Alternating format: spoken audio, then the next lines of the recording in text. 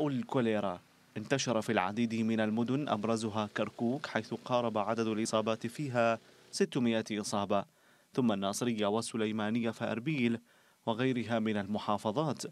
مواطنون أعربوا عن شكواهم من انتشار البرك المائية وتغير تركيبة المياه فيها في ظل غياب الرقابة الصحية بما حولها إلى بؤر مرضية تحوي فيروسات العديد من الأوبئة. والله عمي إيش نسوي لهم؟ وحده منهن الريحة قشرة من يصير الهواء من هنا وهذه مايات جايفة خايسة المية هم حمر صاير المية أحمر. من قد ما جمس بي والوصايق بي والعقارب بي والحياية بي والوصفين كلهم. تأثر على الجهاز يسوي كل ليرة كل شيء يسوي. يعني ريحة وسخة بشكل من الهواء يجدون من هنا أطباء مختصون يرون أن انتقال الوباء أمر يسير.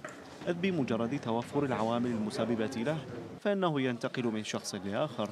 فيما أسهمت الفحوصات الأولية في كشف حالات إصابات عدة وهي طريقة فعالة للقضاء أو التقليل من حدة المرض. مرض الكوليرا هو مرض يصيب الجهاز الهضمي ويعاني المصاب من إسهال مائي حاد مع قيء ومعظم الحالات تكون حالات بسيطة. ولكن بعض الحالات يصاحبها جفاف شديد مما يستوجب دخول المستشفى وينتقل المرض عن طريق تناول الطعام والماء الملوث. وقد سجلت كركوك أكثر من 900 حالة منذ بداية الوباء حيث بدأ الوباء في منتصف شهر حزيران. حدة المرض المتوطن كما تقول وزارة الصحة تفاقمت خلال الأعوام القليلة الماضية. ففي العام الجاري تجاوزت الإصابات الثلاثة آلاف إصابة فضلا عن تسجيل عدد من حالات الوفاة. في هذا العام 2022 سجلنا إصابات غير مسبوقة بالنسبة للسنوات الأخيرة على الأقل.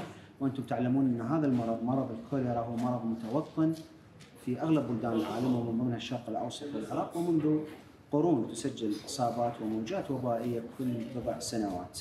لحد الآن الحالات تحت السيطرة 20 حالة وفاة فقط سجلت في هذا العام من أصل 3440 إصابة مؤكدة بالكوليرا وجميعها تتلقى الرعاية الطبية اللازمة منظمة الصحة العالمية أشارت إلى أن العراق يقع ضمن أكثر الدول تأثرا بانتشار جديد لوباء الكوليرا فيما طالبت منظمة اليونيسيف الجهات المانحة والمعنية بتقديم مساعدات عاجلة للتدخل بشكل سريع والحد من حالات الإصابة بالكوليرا مرجعة أسباب انتشاره إلى الفقر وتأثيرات التغير المناخي على البيئة العراقية.